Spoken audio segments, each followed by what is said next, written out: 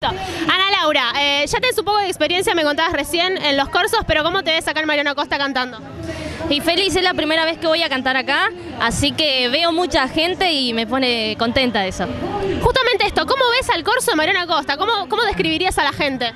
Mucho movimiento, veo que se están divirtiendo con mucha familia, eso es lo que más me gusta, que venga la familia a divertirse. En tu experiencia de libertad, ¿cómo te fue? ¿Viste que la gente se entretenía con tu música?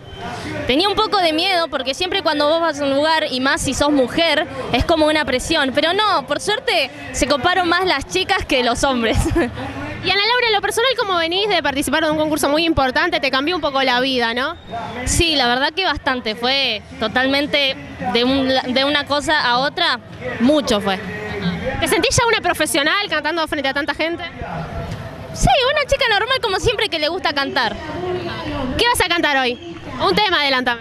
Eh, fuera de Karina. A ver, un pedacito de fuera de Karina.